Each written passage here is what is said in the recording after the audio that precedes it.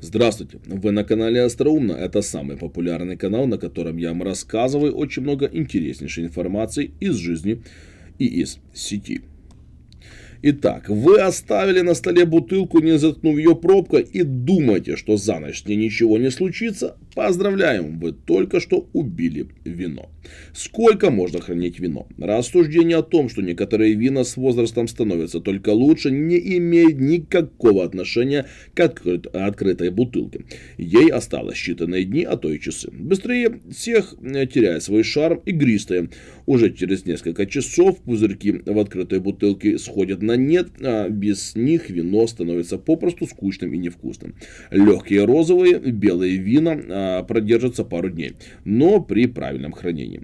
Насыщенное танинами красное вино остается пригодным к употреблению в течение трех дней с момента того, как вы его открыли.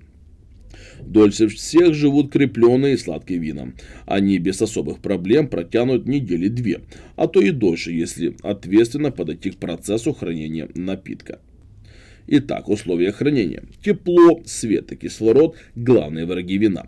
Как только застолье закончилось, убирайте вино с теплой комнаты в холодильник. В условиях среднестатистической квартиры это оптимальный вариант. Хранить открытую бутылку стоит строго в вертикальном положении. Если вы э, кладете ее горизонтально, площадь соприкосновения вина с воздухом увеличивается, а вкусу напитка будет нанесен существенный ущерб.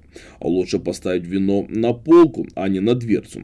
Ее то открывает, то закрывает, так что температура становится выше, а вину эти перепады только вредят. Будет совсем прекрасно, если в холодильнике нет никаких продуктов с сильным запахом, который может повлиять на аромат напитка. Если вы решили закрыть бутылку, а ее же пробкой, установите пробку на место той же стороной, которая изначально была обращена к вину.